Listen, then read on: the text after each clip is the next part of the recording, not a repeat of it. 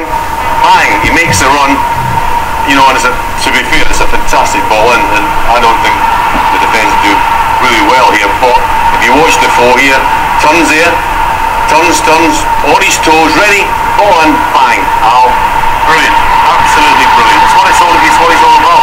Movement, sharpness in the box, getting away from defenders. And if you're going to put balls in, and what he'll say is, let me get on the end, and, and he does it really well. Just gets across his, uh, his centre half, he's sharper than him, he's quicker than him. Not only that, he's got the finish to match him.